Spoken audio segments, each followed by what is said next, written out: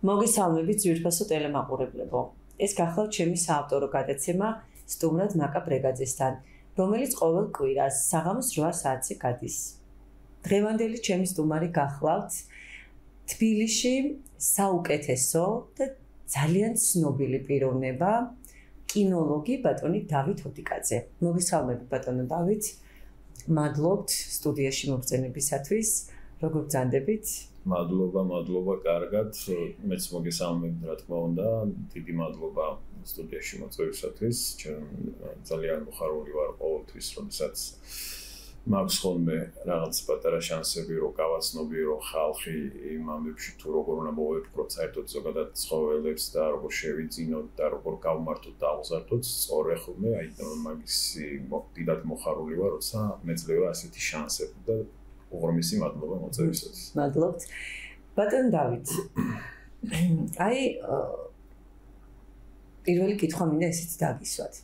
საქართველოში აი ზოგადად სტატისტიკურად, კერძო თბილისში, რომელი ჯიშის ძაღლები არის უფრო მოთხოვნადი?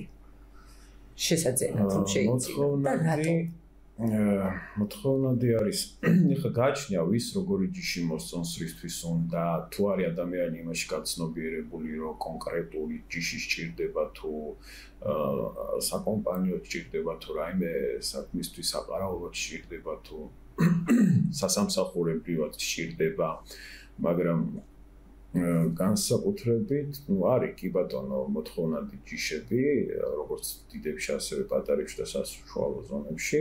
Ну, დავიწყოთ ისე გერმანულ ნაგაზი ყოველთვის იყო არის და იქნება, იმიტომ ეს ესეთი უნივერსალი ჯიშია, რომ ძალიან ცნობილი ჯიშია და ყველამ ვიცით ხო ეს გარკვეულად ეს ჯიში.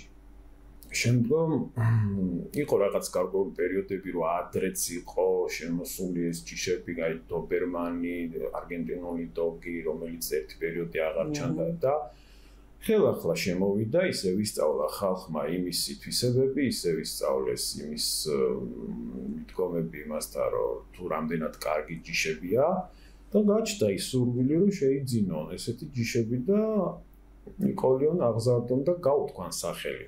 მარტო ყველაზე არ არის.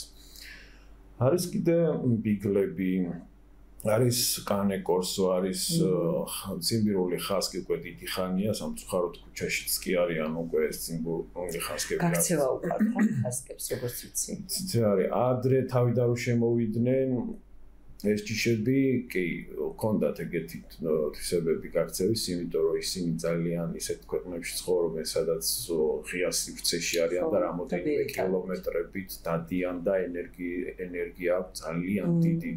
და აქ უკვე შეზღუდულები რო იყვნენ და შესაბამისი ის არ კონდათ რომ დაეხარჯათ ეს ენერგია თავისთავად იმას ის არის უკვე გენეტიკურად დარეფლექსებული რომ უნდა გაიქცეს და ირბინოს დიდი დისტანციები რომ დაიკმაყოფილოს საკუთარ თავი რაც მოყვება მე არასასიამოვნო შედეგები რომ იკარგებიან და ჯაში ხდებიან და დაბრუნებაც ძალიან ისე მაგრამ ეხლა უკვე მიუხედავად ჩვენი გენეალოგიისა, რაც უკვე საქართველოში გამრავლდა, მისი შვილები და ასე და ასე შემდეგ უკვე ცოტა შეიცვალა, იცით უკვე და იმდენად აღარ ცდილობენ გაქცევას, იმიტომ რომ ხასიათი შეიცვალა გენეალოგიაში, შეიცვალა ის ბევრმა უკვე მოკიდა ხელი, წვრთნა დაიწყეს და შესაბამისად აქედან გამომდინარე ნაკლებად ხდება უკვე მათი გაქცევა და მოდიან დამორჩილებაზე გაშვების მომენტებში. გააჩნია ისიც როგორ აუგზრდით, გავწრთნით და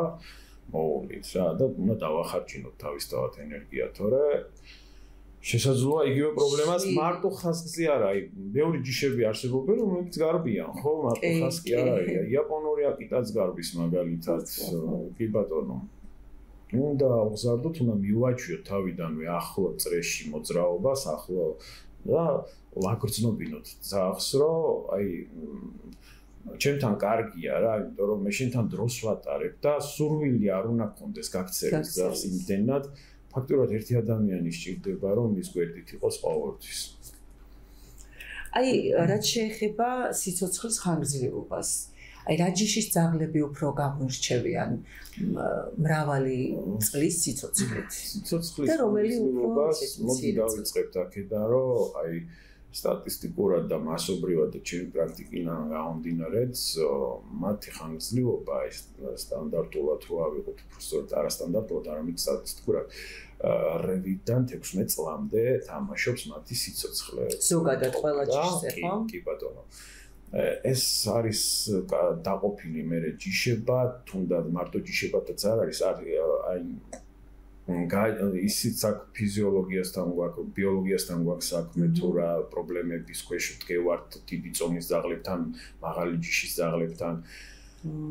ყველაზე დიდი ხნის სიცოცხლე აქვთ პატარა ჯიშის წარმომადგენლებს. მართლა ხო? დეკორატიული ჯიშის წარმომადგენლებს და არა დეკორატიულებს, და სხვა პატარა ჯიშის წარმომადგენლებსაც, მაგალითად შეიძლება დეკორატიული არ იყოს და მუშა ჯიში იყოს, სასამსახურო ჯიში იყოს, ხო? ჩამოუთვალო ძალიან დიახ, წაგუყანს არსებობს ძალიან ბევრი ჯიშები ასა. და საშუალო ჯიშის ზაღლები არის, რომლებიც ცხოვრობენ დაახლოებით 12-დან 16 წლამდე. ეს ჩვენი ჩვენს წლებზია საუბარი. ხო, არის რაღაცა როდესაც ამბობენ რომ აი მათ ამას გეუნები პატარა, ხო, ამას ამას გეუნები თაი პატარა ჯიშებს რა. და საშუალო ზოგადად საშუალო ზოგადადაც საშუალო ზოგადი საშუალო ну ხან მოკლე ცხოვრები ცხოვრობს. და რაც უფრო დიდია და მასიურია ძაღლი მით უფრო ნაკლებად ცხოვრობენ აი 8 წელი 9 წელი 10 წელი ეს ბოლომდე თუ რატო ეს ბოლომდე არ არის კაცნობიერებული მე უფრო ვფიქრობ ალბათ აკაც არის მოვლაზე აკაც არის მის წორკვებაზე მის ჯანმრთელობაზე მის მასობრივ აი პატარა სხვანაირი მიდგომა უნდა იმ დიდ მასას სხვანაირად მივდგეთ რომ რაღაც ბიოლოგიური ცვლილებები არის ეს გენეტიკას დიდი მნიშვნელობა აქვს ორი სელექციას დიდი მნიშვნელობა აქვს აი ამის მინდევნა ცოტა რთულია და იმიტომაც არის რომ მასობრივად უფრო დიდი ძაღლე დიდი ძაღლებშია ხანმოკლე სიცოცხლე ეს პატარა 8 და 9 და 10 წლის მანძილზე ხომ მაგრამ საერთოდ ჯამში ნურვიდან 16 წლამდე ითვლება მათი ხანგრძლივობა სიცოცხლეს. აი დავით, შეჯვარებას დავუშვით ძაღლების ხომ?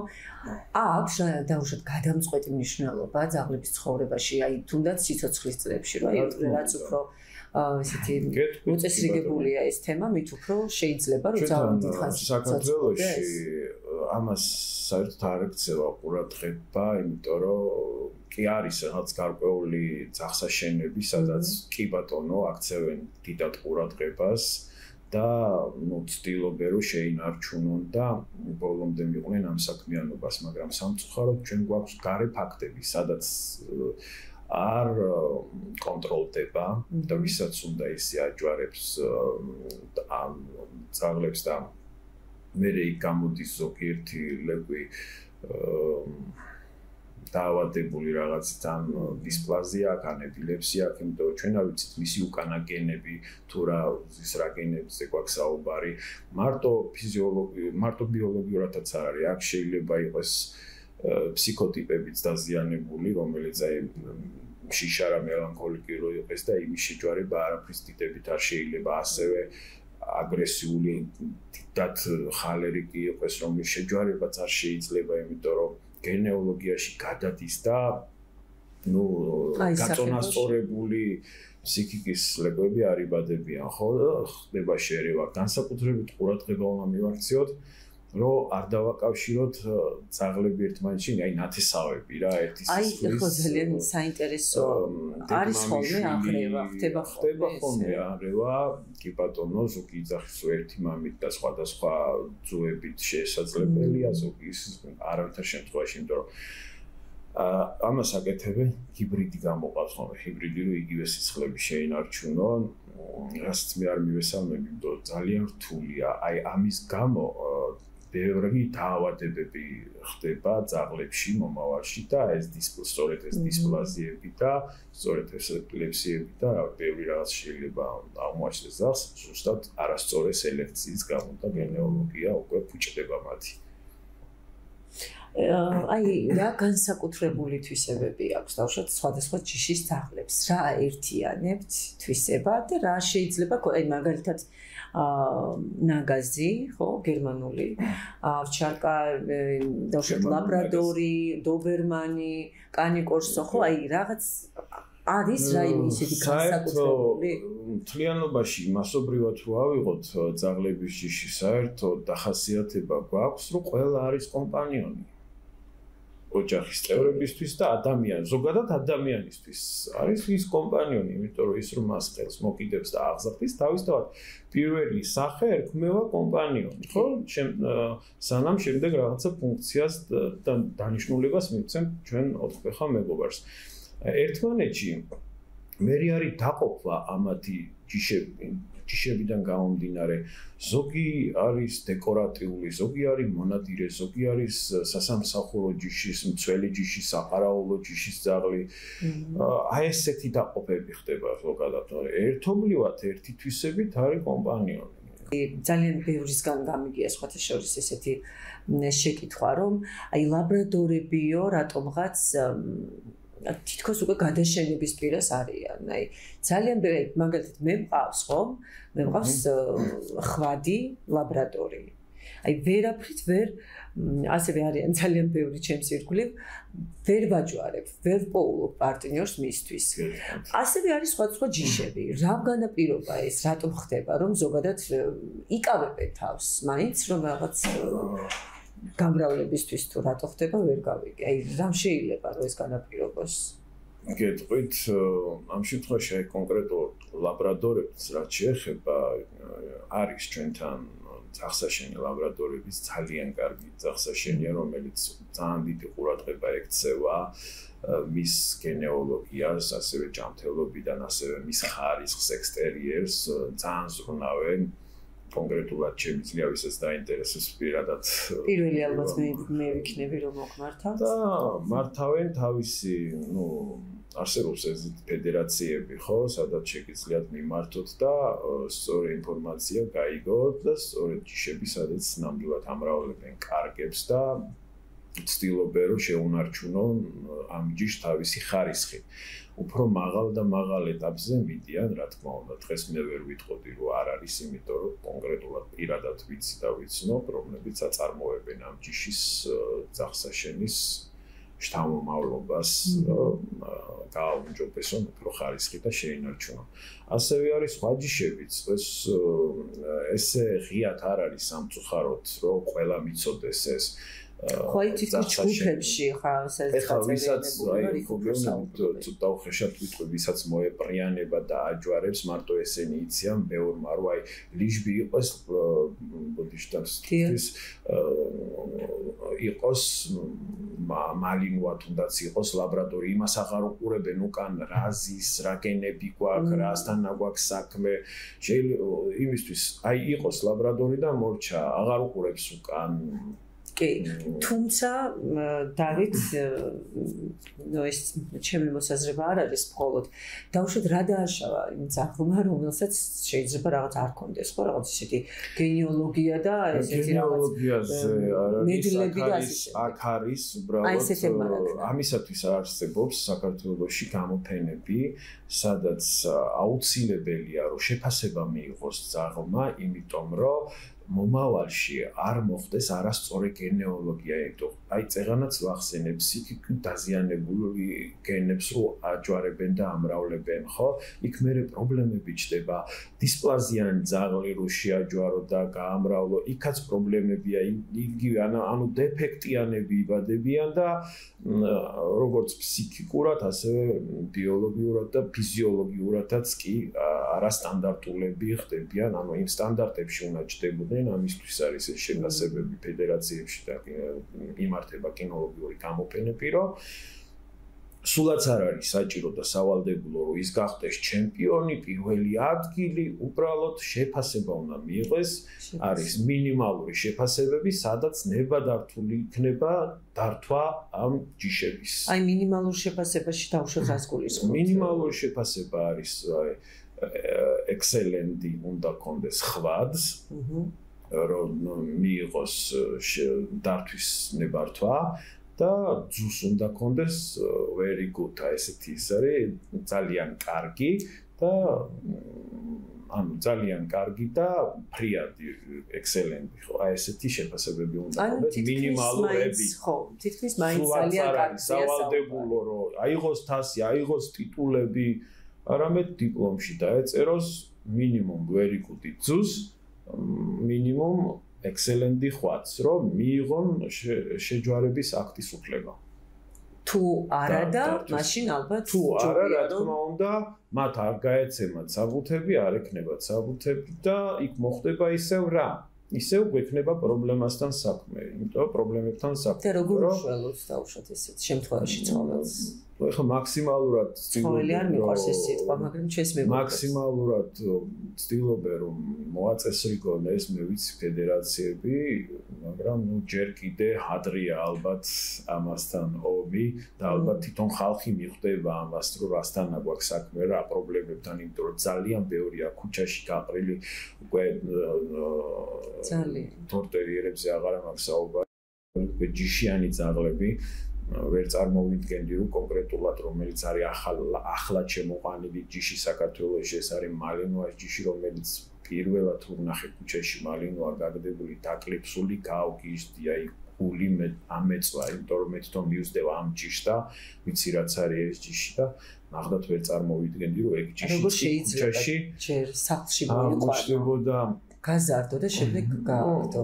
გონი ძალიან გაგდება ცოტა უხეშია და ძალიან ბევრს არ ესმის ეს მამას ჯობია მაშინ ვიღაცას მე მიაიხო აჩქო რა თქმა უნდა მიიყვანო და მია ან ჩააბარო რა და არა ქუჩაში გაუშვამე ეგეთ კატეგორიის ხალხს რა ვერაფრაც ვერ ვაღიარებ და ჩემთვის არაფერია ან ხო ხდებით ხო ძალიან უბულო საქციელია მინდა გითხრათ. იმ ადამიანს გული არ გააჩნია. შეიძლება რომ ადგე და მისცე ვიღაცას და არ გაუშვა გარეთ ის ცხოვრები რა. თვითონ ის ძაღლიც რომ ხდება და გრძნობს ამ ყველაფერს. თავარი ის არის გრძნობს ამ როგორი რაღაცა სამწუხაროდ ჩვენ ვღალატობთ ძაღლებს და ძაღლებმა ღალატი არ იციან. ძაღლმა იცის ესეთი რამ თუ მიგიღო, მიგიღებს ბოლომდე, თუ არ მიგიღო, არ მიგიღებს. რაც არ უნდა ეცადოთ, რომ თქვენ დიდეთ რომ ბევრად სიკეთე გამოიჩინოთ ძალიან, თუ არ მიგიღო, არ მიგიღებთ.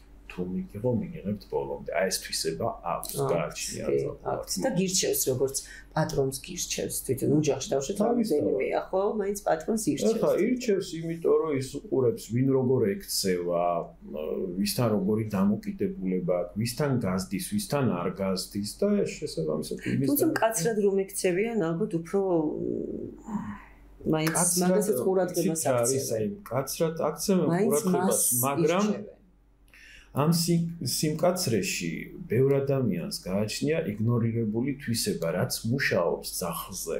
ეს და თვითონ ეს პატრონი ვერ ხვდება ამას, რომ დანა იმიტომ უჯერებს, რომ აი კაცრია და კაცად იმაშრება. აქ იგნორირებული თვისებები აქვს კაცრ ადამიანს, როდესაც ურთიერთობს ძაღლთან და სწორედ ის იგნორირებული ურთიერთობები ამუხრუჭებინებს ძაღლს. თორე აი კაცრად და ისეთი უხეში მოპყრობით ის უკვე დაშინებულია და ფსიქიკა უფუჭდება რაც ნუ ყოველად არ შეიძლება არაფრის დიდებით უხეში მინდა ესეც დაავადებას შევეხო დავით ეპილეფსია ძაღლებში. შეიძლება ის არ იყოს ეპილეფსია და უშოთ სხვა სხვა გამოვლინებები მაგრამ რაღაც კრუნჩხვების მომენტი ხო? რა შეიძლება ეს განაპირობოს? ნებისმიერ ჯიშზე მაქვს საუბარი აი ისევ და ისევ მივდივართ არასწორი სელექციიდან, სადაც და ჯერ წარმოვადგინოთ ის ჯიშები, ის ხარისხები, რომ მათი შეჯვარება ღირს თუ არა, თართვა ღირს თუ არა, იმიტომ რომ დიდ პრობლემები შეგვიქმნის, ხო, ეს ეპილეფსიაც გენეტიკურად მოდის. რა თქმა უნდა. და ჩვენ არ ვიცით ის ხაზები უკან რა ზის მე მაგალითად ძალიან მიყვარს ინგლისური ბულდოგი. აი ძალიან მიყვარს მაგრამ ეგ ძალიან ეგ არის ეგზოტიკა რაღაც ეგზოტიკური არსებაა და უბრალოდ ვერასოდეს ვერ გავრისკე და ვერ ორისკავ მოყვანას იმიტომ რომ ძალიან ხშირია ამ ჯიშებშიც ეპილეფსიები და აი ვერაფრის დიდებით ვერ ვსკენ, რომ მეშინია სამომავლო თუ რამე პრობლემას არ გადავა. შეიძლება უშუალოდ დავით აი ამ პრობლემას. ამის შველა ნაკლებად იმიტომ აი მედიკამენტების ჩარევით ვარჯიში თავის თავი. აი რაღაც ცოტა რომ მდგომარეობა. ხო აი მედიკამენტების თავის თავი მე მქონია ჩემს პრაქტიკაში რომ ყოლია მოწაფე ჩემთან უცხოვრია და ქონდა ეპილეფსია.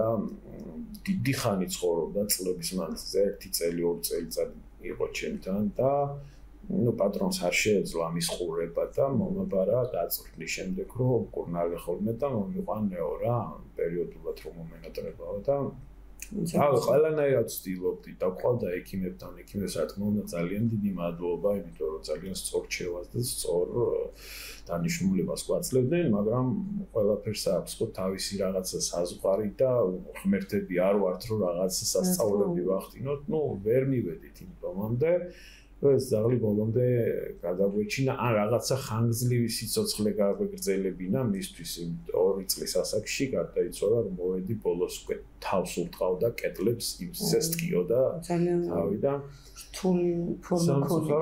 და ამიტომ ისევ და ისევ უნდა მოხდეს სწორი დართვა, სწორი გენეალოგია, სწორი სელექცია და უბრალოდ ადამიანებმა არ უნდა აჯვარონ, რომ აი მე მინდა შევაჯვარო იმიტომ რომ ლეკვი მინდა და აი თავისებური ატეხილობა ისის რო აქვს პრინციპი კომერციული თვალსაზრისით არ უნდა გამოიყენო. არ უნდა გამოიყენო არც კომერციული თვალსაზრისით, იმიტომ რომ აა ბოლოს ცუდი შედეგები გვითკას წინ რა. ძალიან ბევრია, ძალიან მომრავლდა. და შესაბამისად ამ მომრავლებიდან გამომდინარე ხარისხიც იკარგება, ფასიც ეცემა და და თვითონ ის ჩვენი 4 ხდება მეგობარია ცოდო და გამიცდის რა თქმა უნდა ძალიან ძნელია მისთვის ახლა. კიდე ცალკე საკითხია და კიდე ცალკე თემა ისეთი რა ხელა გრძნობა გააჩნია და სიყვარული პატრონის მიმართ. ესა ჩვენ დაუწევ არსებას ნუ ტოვებ ქუჩაში და იმიტომ რომ შენის არ გამოგადგა. უი თურმე ვიყიდე რომ მოვეფერო და უი ტოტს შარლის ტოტზე მიკბინა ჩხაპნა გარბიან მე აცრებს იკეთებენ და თუ არ ხარ შენ ამისთვის მზა პანიკა და მართავ მე პანიკას იმის გამო რომ ზაღმაში გაკაცრა შენიველებმა მაშინ მოდი გაჩერდი გაიარე მისი მთელი ლიტერატურა და ცხოვრების აზრი ამ ცხოვრებაში და საერთოდ ზოგადად ძაღლების სფეროში და მე გადაწყვიტე. გიღირს თქვენ აი ეს ყოველივე ამის შემდეგ შეძენა თუ არა? იმიტომ პირდაპირზე პირად რო იყო და უი მე არ ვიცოდი თუ ესეა უი თურმე იქ დაღრნა თურმე ტვალეთ შრება უკაცრავად და ისიც ბავშვია ის გააფუჭებს იმისთვის იმისთვის არის პირიქით საშიში რაღაცა გააფუჭოს თვითონ სიცოცხლისთვის საშიში არ იყოს ხო? ამიტომ უნდა გავაკეთოთ ისე რომ არ დავაზიანოთ არც საკუთარი თავი და არც ზამბლი აი მე მაგალითად ეჩებს მაგალითს ვიტყვი. აა ძალიან მიყვარს ზოგადად 4 ფეხა მეგობრები. ძალიან აი არ ვიცი უზომოდ და მანამ გადავწყვიტე რომ ლაბრადორი მიყიდა მთელი ინფორმაცია მოკლედ ბევრი რამ ვიცოდი მაგრამ ბევრი არ ვიცოდი. წავიკითხე და ნუ აი ამის შემდეგ მაინც გადავიცოდი დადებითი და უარყოფითი მხარეებიც.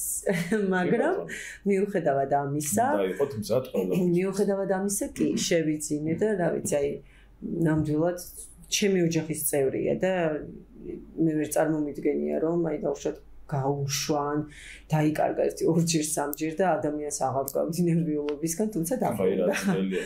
ძალიან, აი არ ვიცი, ეს ყოფილა ძალიან ისეთ მწარი შეგრძნება. კი, არო გვაქვს ახლა ისეთი ჯგუფები Facebook-ზე, რო გეხმარებიან ერთმანეთს უზიარებენ. ჯგუფების მეშვეობით.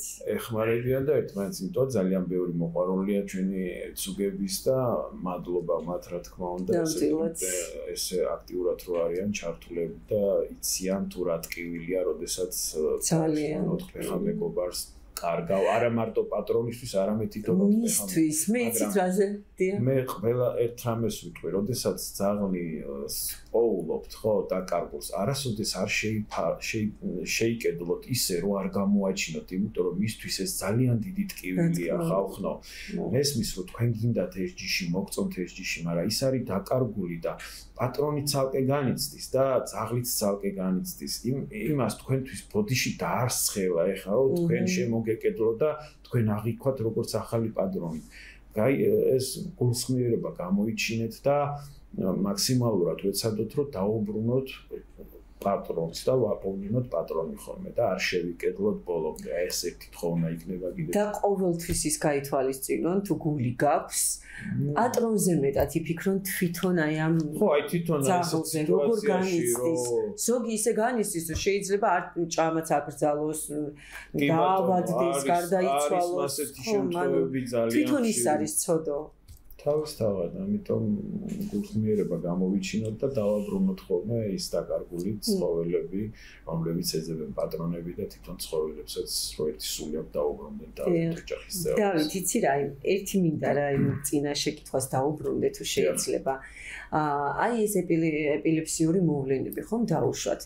შეიძლება რომ ეს გამოწეული იყოს დაუშვათ ჰორმონალური დარღვევებისგან, კვებისგან, აი მე შეძენილი რომ იყოს, ეს როგორ შეიძლება რომ ეს გავიგოს? აი ეს როდესაც ეს ძა. 100%-იანი ციტროგული რაღაც აი ეს ჯერ კიდე დადგენილი არ არის მეცნიერული თვალსაზრისით რომ გენეტიკურია თუ არა ამაზე კიდე მიმდინარეობს მსჯელობა მაგრამ ნუ აი თქვენ ახლა რაც ახსენეთ თუ შეძენილი იყოს რაღაცებისაგან აი მაგაზე ალბათ უფრო პასუხს გაგცემენ თვითონ მედიცინის რა თქმა უნდა ვეტერინარები რომელმაც უფრო ხარმათ არიან ჩაქსოვილი ამ საკითხში. ეს ცოტა ვეტერინარული საკითხია, მაგრამ ჩემი აზრით მაინც ახლა პირადად ჩემ როგორც მწკრივი ეს თქვენ თუ მოუყვანიათ ისიც ზაღლი კი რა თქმა უნდა ხომ მოუყვები კი როგორც ვიცი თქვენ ძალიან ისეთი ბრავალ ფერონა ის დისპლაზიანებიც ეპილეფსიანებიც კი მაგრამ მე ვფიქრობ რომ მაინც გენეტიკური არის რა. თუმცა მეცნიერული მსჯელობა ჯერ კიდე დღემდე მიდის. ბატონო დავით აა კვება აი რას უნდა მივაქციოთ ყურადღება? დავუშვით კვებას, არასწორ კვებას. თქვენთვის პირადად თუ შეუშლია ხელი, აი თქვენ საქმიანობაში ხომ? ან დავუშვით ძალიან დიდია წონით ძაღლი, ან დავუშვით ძალიან გამხდარია ვერ ვერ კვებას პატრონი იმ საკვებით როგორც მას ეკუთვნის. თქვენ როგორ? კი ბატონო, აი არსებობს სპეციალური საკვები ძაღლების, ხო, რომელსაც შევიძებთ ნებისმიერ ზოლ მაღაზიაში. არსებობს დაბალი ხარისხი, საშუალო ხარისხი და უმაღლესი ხარისხები. პრემიუმ კლასებს უეძახიან და ეკონომ კლასებს. აა ძალიან შევინარჩუნოთ კარგ ვიზუალურად და ჯანმრთელი რო ეს და ლამაზი თმა და ლამაზი ბეწვი და ლამაზი კანი და სუფთა ანუ ყოველივე დაავადების იმას რომ მოვერიდოთ უმჯობესია რა თქმა უნდა თუ საშუალება არ გვაქვს მინიმუმ საშუალო ხარისხის საკვები მივაწოდოთ პირველ რიგში რაც ეკუთვნის, იმიტომ იმ მინიმალურ საშუალო საკვებში არის თავისი ინგრედიენტები, ის ვიტამინები თუ ზუსტად თუ რა რაც უნდა მიეცეს ჩვენს ოთხმეხა მეგობარს, ხო? შესაბამისად უკეთესი ხარისხები, უფრო მაღალი დონის ხარისხები არის იმაში მხელა ვიტამინიზებული ინგრედიენტები, რომ ძახს არ გააჩნია ეს მე რა არანაირი პრობლემები, იმიტომ რომ გამოიყურება ძალიან ლამაზად, ჯანმრთელად. თუ ჩვენ მივაწვდით სახლის საკვებებს, გაჩნიეთ თავიდან როგორ გავზდით, ხო შეიძლება თავიდან გავზარდოთ სახლის საკვებს, მაგრამ იმასაც პრობლემები ექნება მე ბიოლოგიურად, ну ვერ ლაგდებიან და ამას მოსდევს პრობლემები. ჩემთვის ყველაზე მარტივი და ადვილი არის რომ მივაწვდოთ ისე ზაღლის საკვები რაც ზომ მაღაზიებში. და აი თქო დამატებით იყვება თუ შეიძლება თავიანთი ხო როგორ შეიძლება საძლევენ სუხარი რაღაც ხილი სუხარი არა ხილი. შესაძლოა შეიძლება ნუ ხილსაც აქვს თავისი გარკვეული ხილი რომელიც შეიძლება არ შეიძლება ასევე ხაჭო შეგვიძლია მივაწოდოთ რძე არავითარ შემთხვევაში არ შეიძლება ბევრი არის რომ წეს საჭმელს ლექსას ძანს არაერთი შემთხვევაში არ შეიძლება წე იმიტომ რომ წეს არ აქვს კაი დადებითი თვისებები ორგანიზმში. აი ყველი მარილიანი იცი უცხი მომარილო რაღაცეები რა თქმა უნდა შეიძლება ისიც პერიოდულად ხორცი შეგვიძლია მივაწოდოთ პერიოდულად და არა ყოველდღიურადაც არ ვარ გახორცის მიცემა იმიტომ რომ მასაც მოსდევს ანუ ზედმეტი არაფერი არ ვარ გაჩიმოგარგო არის გარკვეული საკვებები რომელიც და ზომიერად მევაწოდოთ. ზომიერად. და როგორც ვიცი, დიდი წონის ძაღლები ძალიან ისეთი პრობლემები გამოირჩევა. აი, ხშირად ისმის ხოლმე კითხვა, რამდენი ვაჭამო, რა ვაჭამო, რა წონის არის რა რა რამხელა რა ასაკის არის. მოდით ვიტყვი ესეთ რამეს ზოგადად როცა ვიდეო თქომე საკვებს, ნუ ვიქერზე იმ ტომარაზე წაწერია სტანდარტები თუ როგორ რამდენი უნდა ვაჭამ, მაგრამ ის არის სტანდარტული რაც აწერია. იმ სტანდარტს რომ მივყვეთ, შეიძლება იმ იმ სტანდარტის მიხედვით რაც ვიწერია, რომ აი მაგალითად 4 თვის ლექს უნდა ვაჭამოთ 100 გრამი ერთ ჭამაზე. ვაჭმევ, მაგრამ ის და არ იმატებს, გამختარია. ან არ ყოფნის. არ ყოფნის. ანუ გამოდის რომ ერთი მუჭა კიდე ზემოდან უნდა დავამატოთ. უკვე ჩვენ თვითონ ვარეგულირებთ ინდივიდუალურად. ჩვენ ვაჩვენთ ესე გამოს. ის აუცილებელი კი არ არის იქ რა წერია ზუსტად ის მიაწოდო, ის ის პორცია მიაწოდო. არა. იმ ის წერია სტანდარტულად მიახლოებითი, მაგრამ იქ შეიძლება 100 გრამი მისცე, მაგრამ სუქდება, ერგება.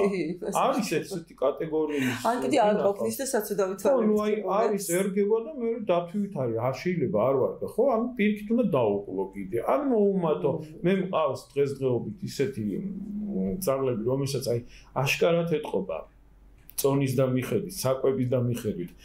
ვაჭმელ იმატებს. მე ვხედავ ძალიან მომატებულია უკლებ ანუ თამაშობს წონაზე რა არს როგორც ადამიანებშია ზოგადად. ზოგიერთი ჩამჩამს არ იმატებს მაგრამ აი ზაღლებშიც არის ისე რომ აი ჩემი მაგალითად აი რო ვაჭმევ მაინც რაღაც ისეთი საწოთავი თვალები გიყურებს რომ თითქოს შია ესეთ შეგვიძლია ზოგადად ზაღლი არის უმაძღარი ასე რომ თავიდან ვერ გრძნობს იმას, როდესაც ჭამე ის კუჩი ფურდება, ორმაგი სამაგი ხდება და მეરે ინაყრებს თავს, ცოტა მოგვიანებით ხოლმე და მაგიტომ ვერ გრძნობს. ძალიან საყვარლები არიან ძალიან. და ყოველთვის უყვარ ჭამის შემდეგ გარეთ გასეირნება და სირბილი.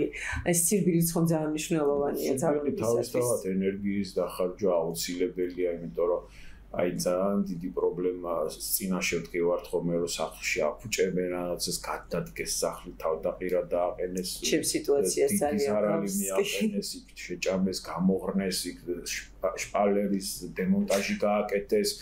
ეს ყველაფერი არის. არა ძაღლის ბრალი არამედ ადამიანის ბრალი ჩემი კარგო იმიტომ რომ მას უნდა ენერგიის ხარჯვა, არ ყოფნის ის მარტო ბოდიში და ტუალეტზე გაიყვანე და მოიყვანე დატოვე სახში და წახვედი. რუტოებ ის ხელში ტოებ, რატო ტოებ? იმან არიცის ის პოულობს რომ გაერთოს, გაირთოს თავი მარტოა.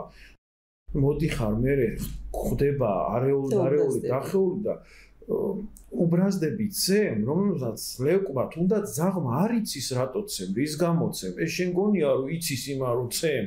რამ დროს? თუმცა მინდა გითხრათ, რომ აი ეს პროტესტის ზონებს მიმართავს ხოლმე ჩემი ოთხფეხა მეგობარიც.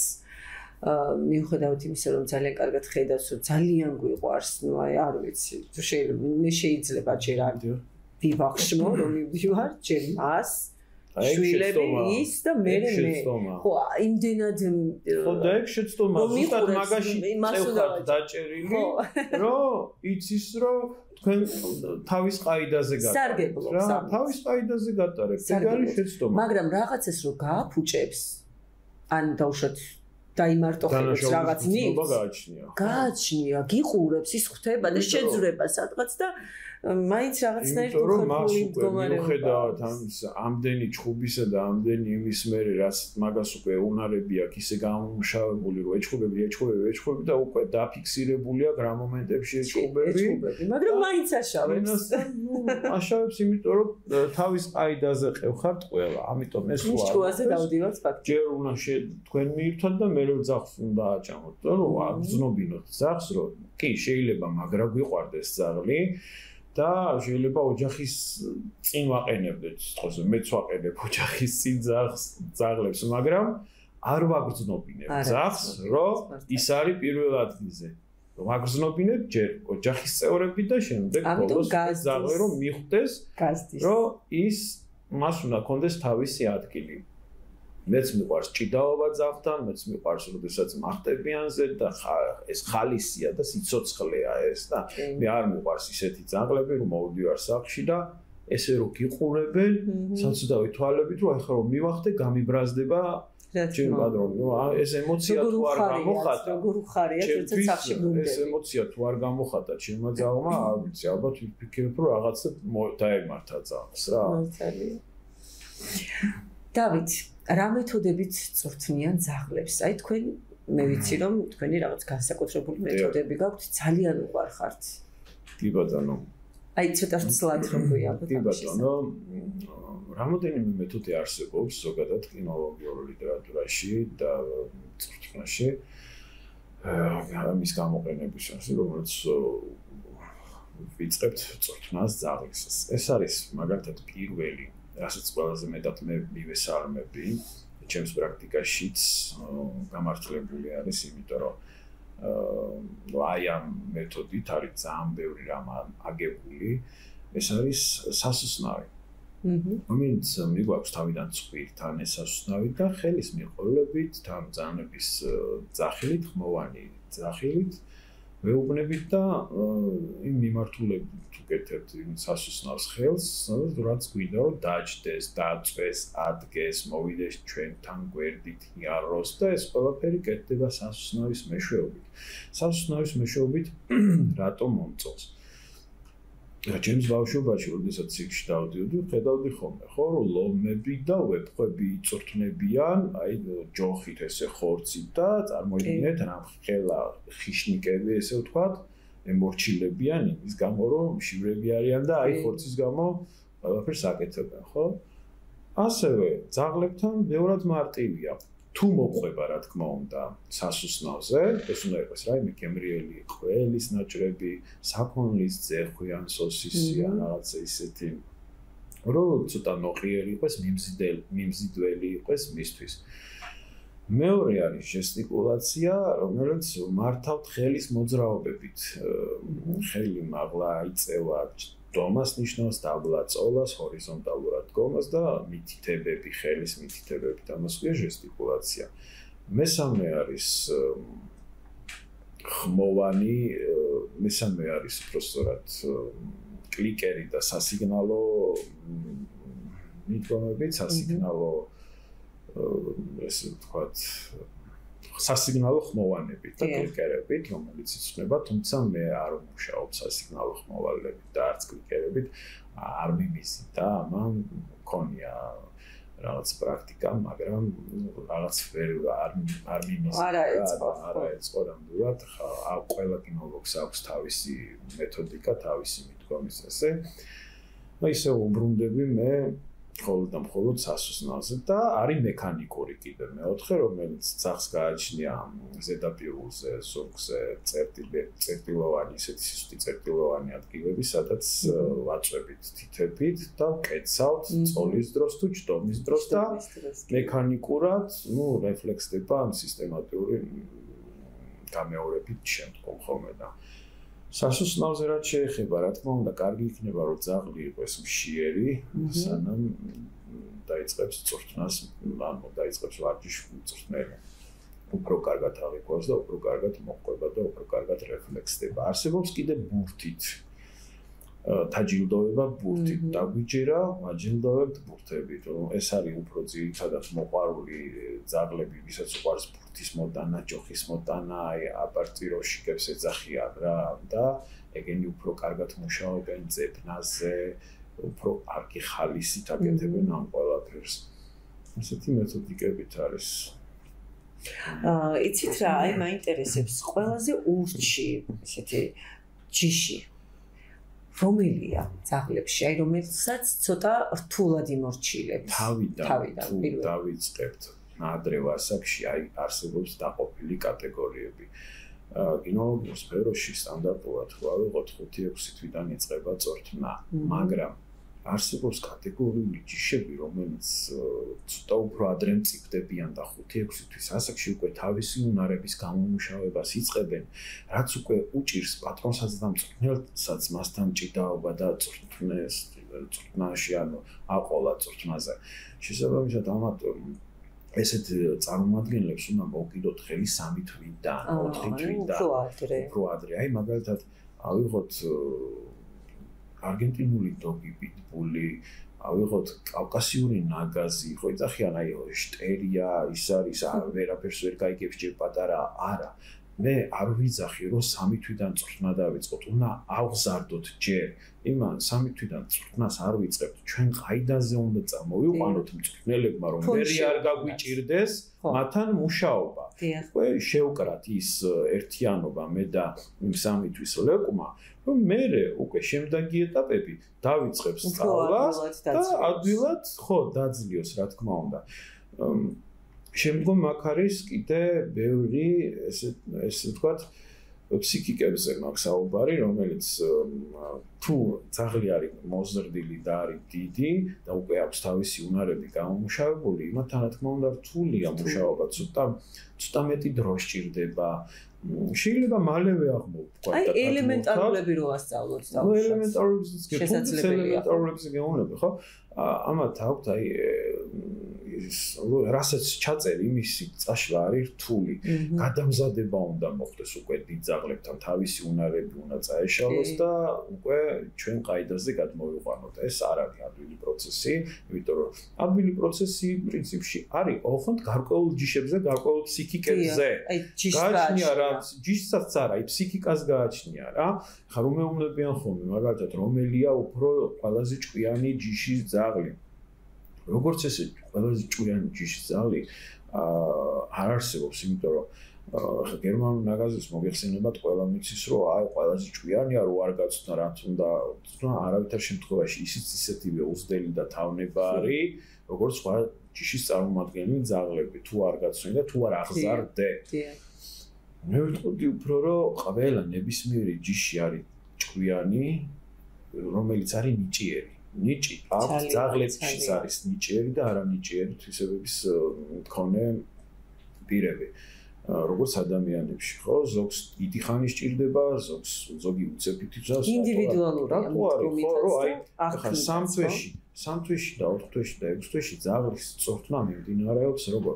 ჩამოყალიბე ხო ყველა ვერ გადის იმ ხელა მასობრივ ცოდნას და ვერ ასწრებს იმ სამ თვეში თუნდაც იმ ექვს თვეში იმიტომ ყველას თავისი ფსიქიკა გააჩნია, ყველას თავისი გონება გააჩნია, რომელიც მოყვება, არ მოყვება, რამდენად მოყვება. ისე დავით, აი მაქსიმუმი რამდენია დაუშვათ აი მომზადების აი თქვენთან პერიოდი, რომ ძაღლმა რაღაც მიიღოს ის რასაც თქვენ გასცემთ. არის 6 თვე, რომელსაც უნდა ჩამოყალიბდეს აბსოლუტურად დისციპლინაში, მაგრამ იმ 6 თვის მერე გაცდება უკვე რომ ისწავლოს დაცვითი ფუნქციები, იმიტომ რომ დაცვა და თავდასხმა პატარა ლეკობის ასაკში არის სწავლება. ისწავლება, მაგრამ იქ უკვე სხვა ხაზები მიდის და გააჩნია ჯიშებს და რისთვის გვინდა ჩვენ თუ უნდა გავზარდოთ პირად მცველად, ობიექტის მცველად, მაშინ ადრე ასაკში უნდა დავაწყებინოთ. ოღონდ მას არ უნდა კონდეს კონტაქტი ადამიანებთან და არ უნდა იყოს სოციალიზირებული, იმიტომ რომ იქ სხვანაირი სპეციფიური წვნა მიმდინარეობს. ჩვენ თუ გვინდა რომ უბრალოდ წელი გავზარდოთ და ჩვენი კომპანია კომპანიონი იყოს, ხო? მაშინ უკვე წელიწადის ასაკიდან უნდა დავიწყოთ მისი დაცვითი ფუნქციების შესწავლის პერიოდები. აა ამიტომ ჯობია რომ მაინც სასურველი ალბათ ადრეული ასაკიდან. ადრეული ასაკიდან დაწყება ეს დისციპლინიდან გამომდინარე და მე მაგ კურსები მაგალითად 3 თვიანი, 4 თვიანი, 6 თვიანი და 1 წლიანი, 12 თვიანი. ყველაზე დიდ ძაღლებზე რამდენი წლიანი ალბათ ხო? მე ჯიშებსაც გააჩნია ხა კავკა გერმანულს რო 3 თვე უნდა სიტყვაზე ხო? კავკასიურ 3 თვე არ ეყოფა იმას თავისი უნარები აქვს, იმას ცოტა სხვანაირი მიდგომა, სხვანაირი რა, ხანგრძლივი მიდგომა. აი დობერმანებს, დავშვათ ლაბრადორებს, იორკებს, ხო მყავთ პატარა ჯიშის ძაღლები? აი ამათ რამდენი ხანი უნდა? 3-დან 6 თვემდე. 3-დან 6 თვემდე, იმიტომ რომ ჩვენ ვერ გავიგებთ ის სამთოში ჩამოყალიბდება თუ 6 თვეში ჩამოყალიბდება. ამიტომ თავი რო დავიწყოთ და პატრონმაც და მწვრთნელმაც 6 თვე უნდა 6 თვე მაინც სტანდარტული რო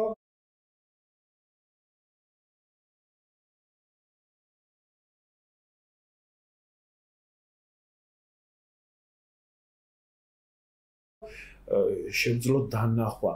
შეიძლება ძაღლი არ მოყვებოდეს თავიდან და გიჭირდეს მასთან მუშაობა.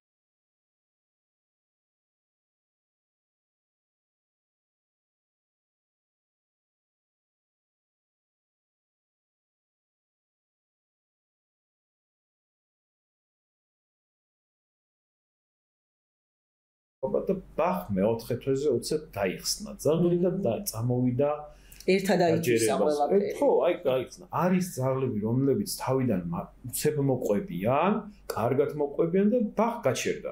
ზარმაცდი.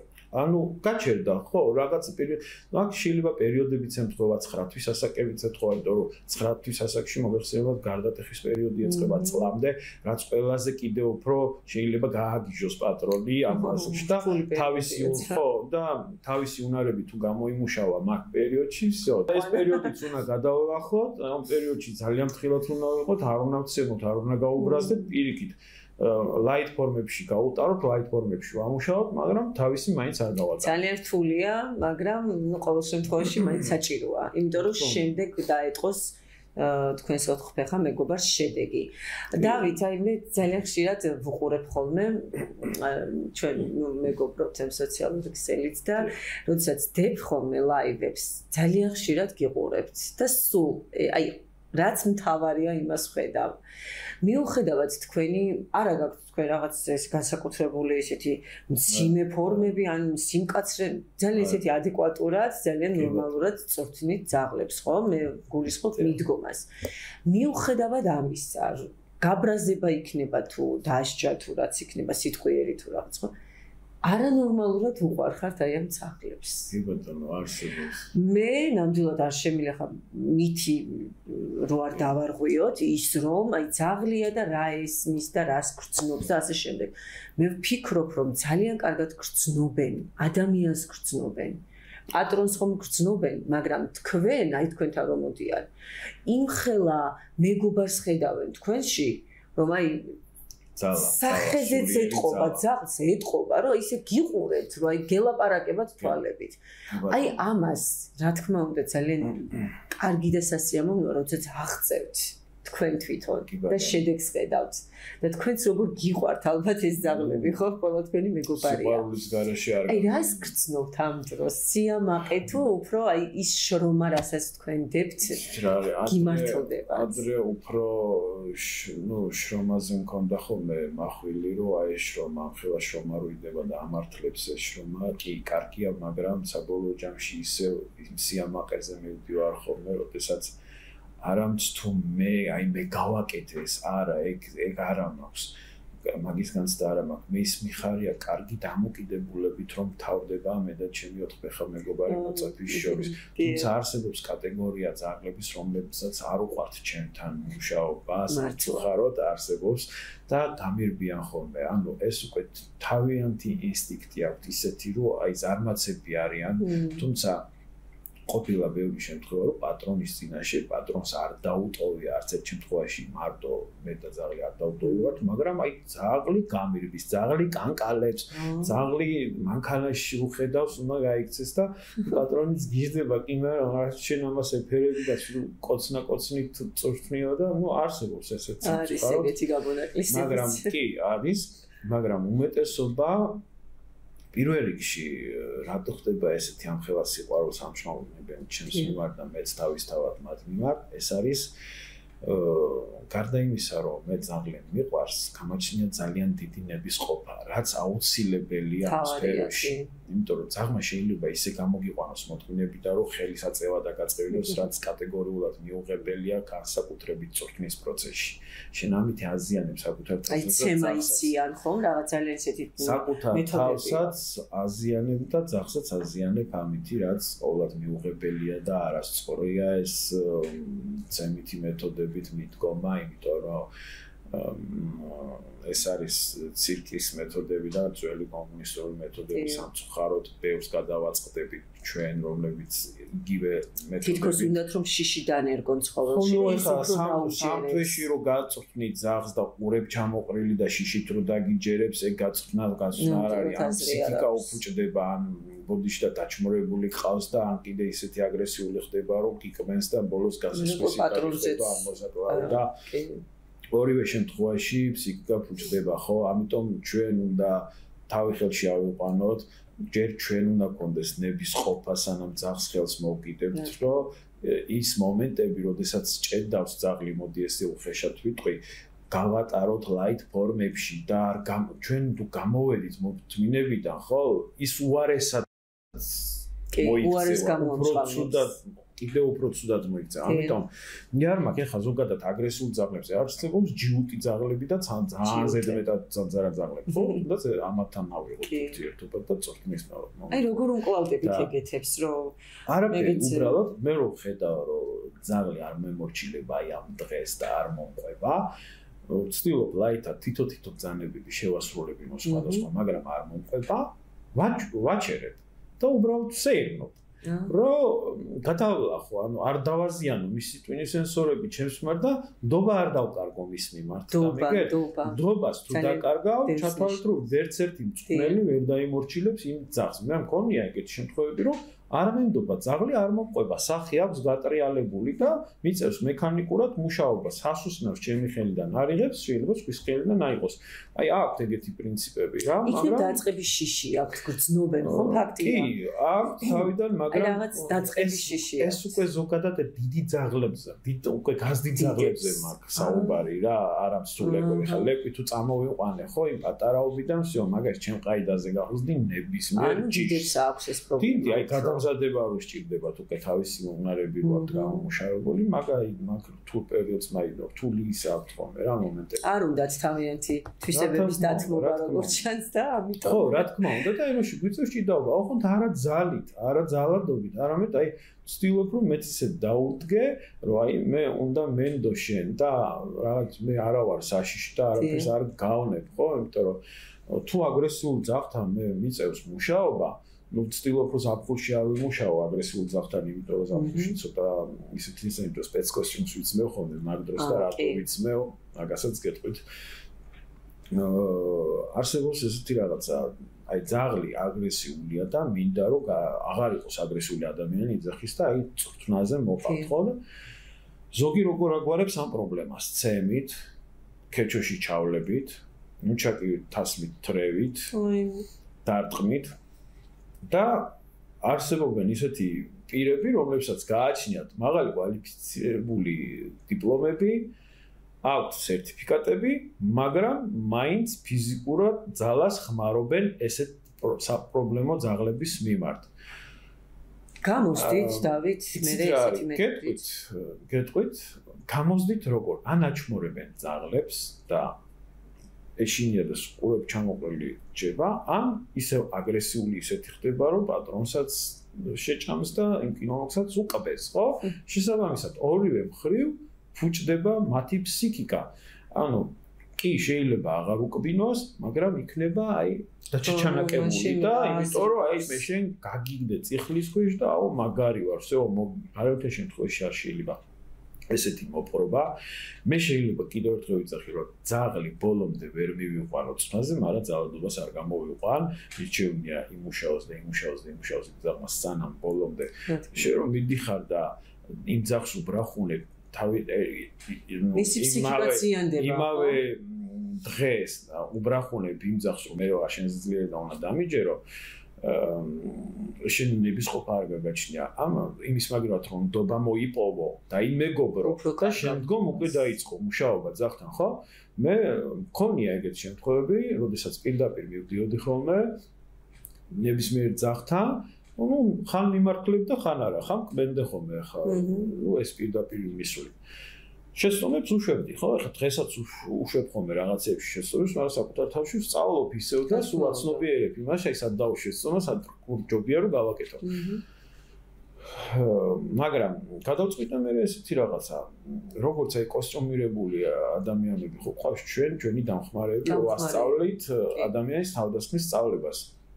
გამოვიყენე კოსტიუმი ჩემს თავზე მივედი აგრესიულ ძაღთან ჩამავლო მე მოვითმინე, მე არ გავეცი პასუხი არანაირად, იმიტომ რომ მე მინდა რომ მაგან იგრძნოს შენულ მე ჩამავლე, მე ამითი არ შემეშინდა, მაგრამ საპასუხოდ არ პასუხობ აგრესიულად რა. მე ვარ ჯოასიპოვებ უკვე თავიდანვე. ანუ ეხლა უყურეთ, ხო ჩამავლო.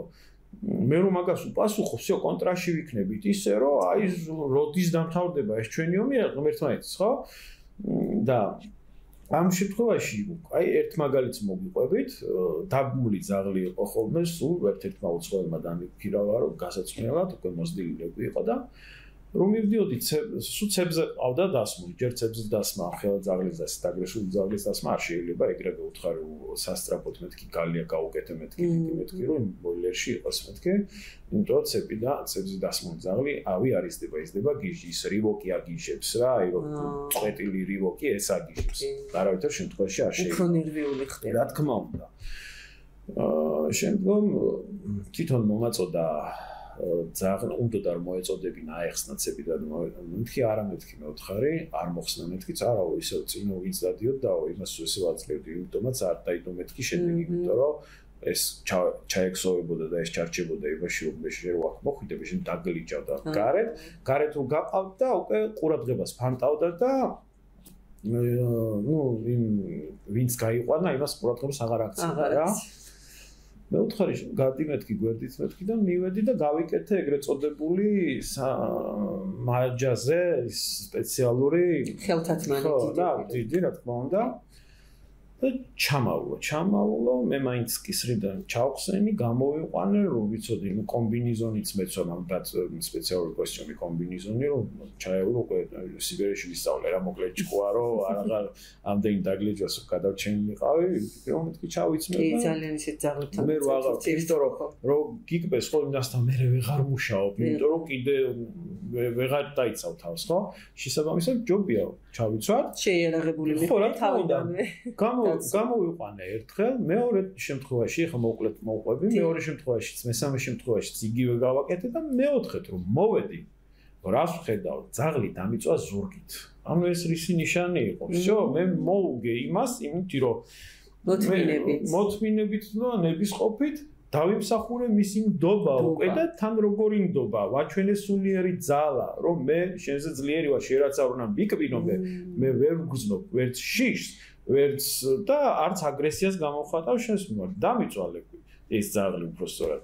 და ის მე რავი დავმეგობდი და კარგად მიდიოდა ჩვენი წვრთნის პერიოდები. რაც უფრო შენს თვალებში კითხულობენ შიშს ну ეს კიდე ცალკე თამამდებიან რომ უფრო მეტად გაჩვენონ რომ პროსი კიდე ცალკე ესეთისა რომელიც ადამიანი გამოყობს იმ ადრენალინს შიშს ადრენალინს და უფრო გრძნობს ზაღლი და შეტევაში გადადის ეს ცოტა უფრო გამარჯვებული გონია ხო ეს ცოტა ისეთი თემა მაგრამ აი ქუჩაში რო გადიან და ზაღლები რო გაეკიდებიან ხოლმე რა ხალხს და აუ ეს იკბინება და ავია და ეს საერთოდ არ მისდევენო პანიკაში ვარდებიან. პანიკაში ვარდებიან კი ბატონო ესეთი რამე რო არ მოხდეს და არ მოხდეს თავშესაფრიდან გამოძახება და ეხლა რატო უკნეს იმას ხო? იმიტომ რომ იმას ახსოვს რომ იმან გააგდო იქიდან, ხო, ეს როლა ფეხი გაუქნია.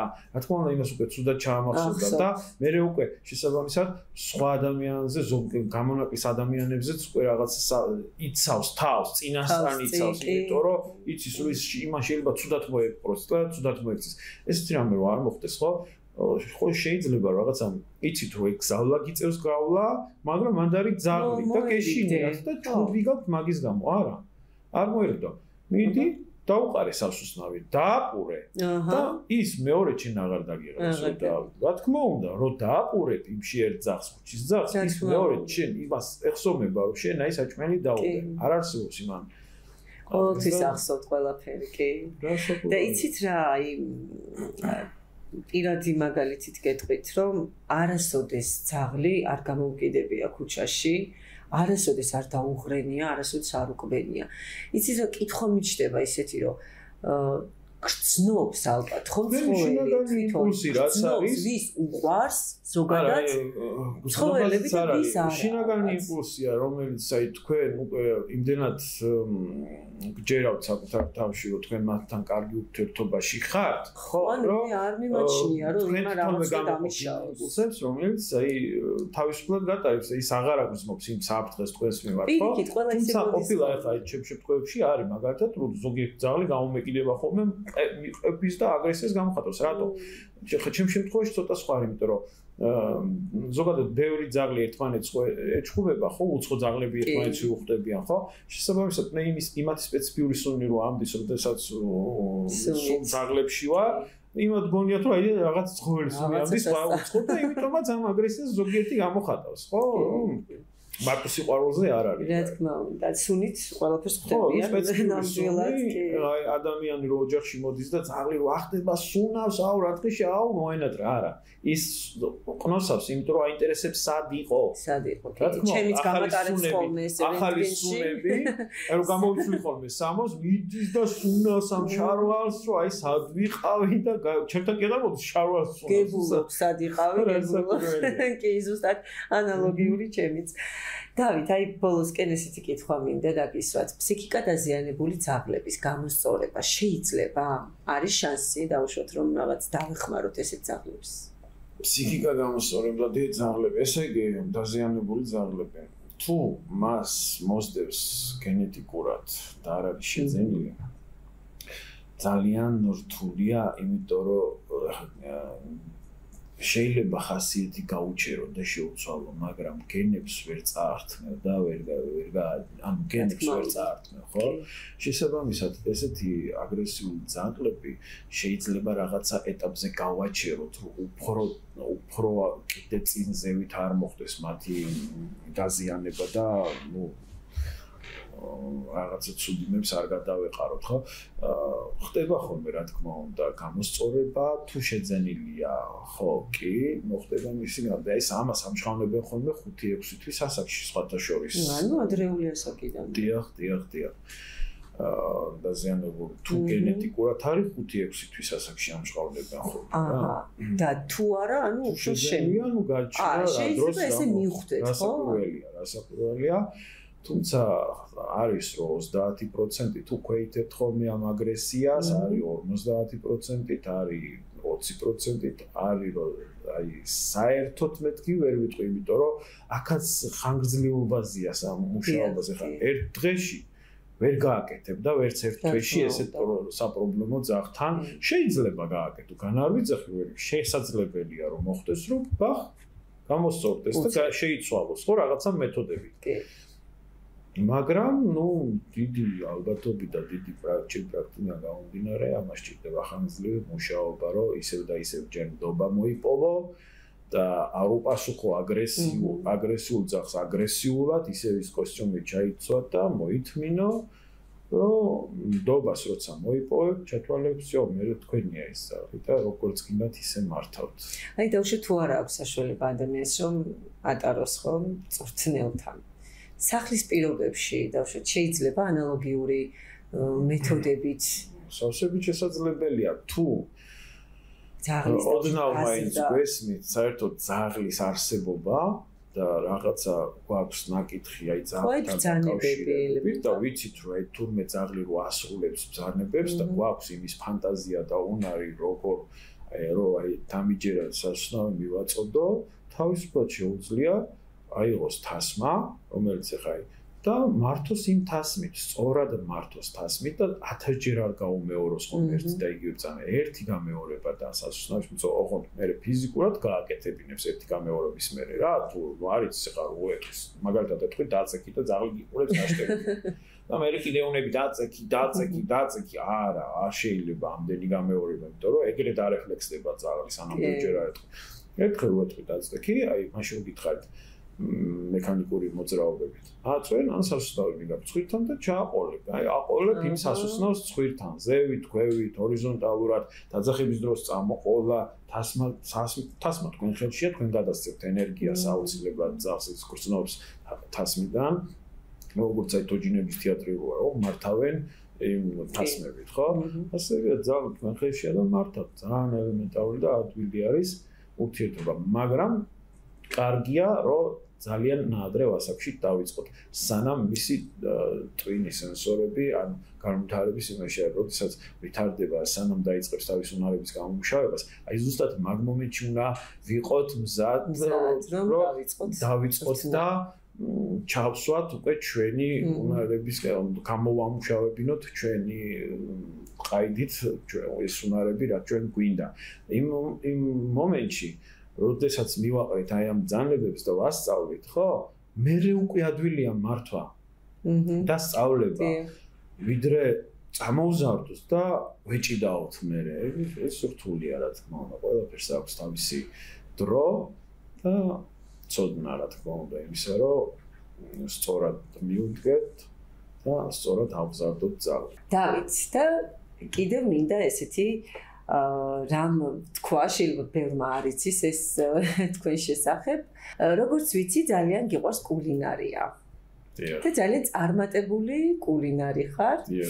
აა აპირებდი კიდეც ხო მე მასტერ შეფში გსურდა მონაწილეობის მიღება. აი რა სიტყვი ორიოდი სიტყვით აი ამ თემასთან დაკავშირებით. კულინარიობა ზოგადად მიზიდავდა ბავშვიდან, იმიტომ რომ მე მყავდა мама კულინარი სამცხარო 99-ში გარდაიცვალა.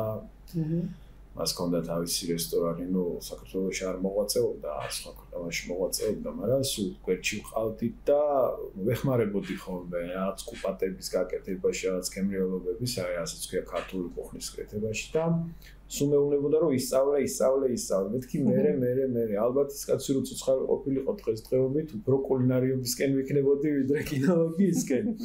შესაძლოა, მაგრამ ნუ მოსაცხად მოხდა ისე რომ გარდაიცვალა და ეს კულინარიული თვისებები დამთავრდა სწავლის პროცესები და გავაგზავნე რა თქმა უნდა ხა დამოუკიდებლად ჩემი ცხოვრება, რასაც გადავლახე საქართველოს საბაჟო აკადემიაში სწავლობდი და ვერ წარმოვიდგენდი რომ კინოლოგიაში შემოვყოფდი ფეხს ესე ვთქვათ. მაგრამ ეს კულინარიული თვისებები დამჩა, იმიტომ განსაკუთრებით ხორცს რაც ეხება, აი ჩვენ როდესაც მუშაობთ ხოლმე ბიჭები და მე ვიკრიფებით ერთად ერთ ოჯახში, აუცილებლად მე უნდა შევწვა მწვადი, მე უნდა გავაკეთო საჭმელები, იმიტომ რომ იციან რომ ჩემს garaში სუფრა არ გაიშლება და არა რა თქმა უნდა, იციან რომ ძალიან კარგად ვაკეთებ და ვართობ თავს ამეთი და ხო, რაც შეეხება მასტერ შეფობას, ყოველთვის მქონდა სურვილი, რომ მიმეღო მონაწილეობა, მაგრამ დრო დრო დრო ვერ გამოვნახე, რომ მასტერ შეფობას თარიქ თავის დროს მოითხოვს და შესაბამისად ხელი შემეშლება ჩემს სამსახურზე და ბოლომდე ვერ ვისკავ, რომ ეს ნაბიჯი გადავდგა, რომ მიმართო მასტერ შეფის მონაწილეობასთან დაკავშირებით მიღებათან. ამიტომ ისე ვაგზელებ ჩვენ სტრესში სამყაროც სამყაროც რა თქმა უნდა ვაგზელებ და კულინარიო ხომე ჩემ მეგობრების წრეში. ძალიან კარგი და მინდა წარმატებები გისურვო აი ამ საკითხშიც, რადგან სხვათა შორის ნათქვამია და ამბობენ რომ ქალბატონებზე ნაკლებად ზოგიერთ მამაკაც კულინარობა არ შეუძლია. ანუ უფრო მეტადაც ხანდახან, ზოგჯერ უფრო გემრიელობები გამოსდით ხოლმე. ძალიან ბევრი გემრიელობები გაგეკეთებინოს მეგობრებისათვის. ძალიან დიდი მადლობა. მონდომებულად ვიქნები კულინარიას რაც შეეხება, იმიტომ მართლა ძალიან მეყვარს და ჩვენ როცა ვისვენებთ ხოლმე, ჩვენ თulit რომ აი ეს არის ჩვენი დასვენება, რომ ვიკრიფებით და ვქეიფობთ და ვაკეთებთ. განსაკუთრებით ბუნებაში ალბათ. ბუნებაში, ოჯახში, თავარია გული გულობდეს და სიყვარული ტრიალებდეს, არა აქვს მნიშვნელობა. აა როგორი ძაღლი უფრო სასურველია რო ყავდეს და შეიძლება ნუ აღზრდასთან უკვე გასაგებია მეთოდებიც და ის დროც რაც თქვენ თქვით. აი ბავშვებთან რომელია უფრო ვიცით რომ ლაბრადორები ბავშვების ძაღლია, ხო? უფრო ბავშვებთან კომპანიონი. აი ნებისმიერი ისე. ასევე არის სხვა ჯიშები კიდევ. ნებისმიერი ისე ჯიშები რომელიც კომპანიონს კომპანიურ წოდებას მიეკუთვნებიან, ესე ვთქვათ. აი გადახედო ლიტერატურას რომელიც ძაღლები არიან კომპანიები ხო აი Newfoundland თუნდაც ეს ლაბრადორი სენბერნარი არის ისეთი კომპანიები ძაღლები რომელსაც ოჯახში იდეალური ურთიერთობები აქვთ შესაბამისად უკვე პარკი. მე სასურველია რომ ბავშვებთან ყავდეს შინაური თუ გინდა რომ ბავშვთან იყოს ოჯახში იყოს არა ა შეიძლება რომ ავიყვანოთ ისეთი სასამსახურო ჯიშის წაღლებიც, მაგრამ იმათთან ცოტა რთულია თუ არ ვიცი მისი აღზრდა და ბოლოს უკვე როცა რაღაცა ფაქტი მოხდება და მე მიდიხარ და მე იგებ ამ სპეციალისტა როგორ მოვიქცე და არიქა და როცა უკვე გვიანია შესაბამისი ისინი ხო ამიტომ უმჯობესია თავიდანვე ჯერ სანამ ავიყვანთ ძაღლს გავიაროთ სპეციალისტთან კონსულტაციები ჩევები და მზად ვიყოთ წავიკითხოთ მისი ლიტერატურა მზად ვიყოთ ჩვენ ამ ყველაფრისათვის რო გვიღირს ეს ბავშვები რო ყავს ეს ჯიში არ გვიღირს.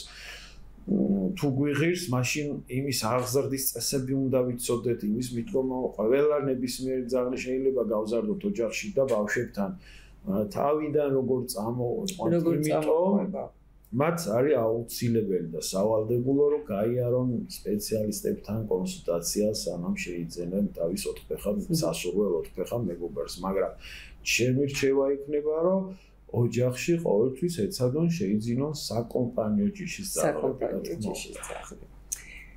ძალიან დიდი მადლობა დავით, ესეთი სასარგებლო რჩევებისათვის. ნამდვილად კარგი იქნება თუ გაითვალისწინებს მაყურებელი. მეც მინდა გითხრათ, რომ ძალიან ბევრი რამ გავიგე კიდევ ახალი შეგან. და ძირფაზე ტელემაყურებლებო, ეს გახდათ ცნობილი კინოლოგი ბატონი დავით ოდიკაძე. და როგორც ბატონო დავითმა გვირჩია ჯობს, მაგრამ შეიძენთ თქვენს ოთხფეხა მეგობარს, სასურველ მეგობარს, წინასწარ ჯობია გაიაროთ კონსულტაცია. ნებისმიერ სპეციალისტთან, ნებისმიერ სპეციალისტთან და მოიძიოთ ინფორმაცია. ამით უფრო დაცულები იქნებით თქვენს, თქვენი ოთხფეხა მეგობარიც. და რა თქმა უნდა ადამიანი რომელიც მათ გაწვრთნის შემდეგ მომავალში უფრო გაუადვილდება მასაც მუშაობა ძალიან დიდი მადლობა ყურადღებისათვის მადლობთ რომ გვისმენდით გაიზიარეთ ბატონი დავითის რჩევები კარგად ძალდებოდეთ